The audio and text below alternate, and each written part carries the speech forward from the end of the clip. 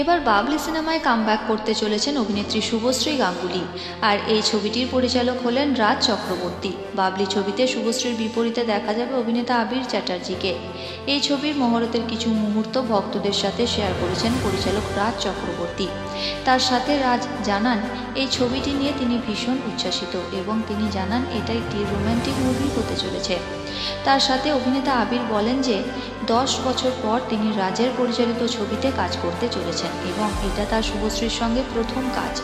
সব কিছু মিলিয়ে ভীষণ এক্সাইটেড এবং তার পাশাপাশি এই ছবিটি দেখার অপেক্ষায় আছেন তাদের ভক্তরাও। একজন লিখেছেন যে, আবির শুভশ্রী দুজনে অনেক ভালো অভিনয়ের দিক থেকে, তাই আশা করাই যায় যে বাবলি ছবিটি অসাধারণ হবে।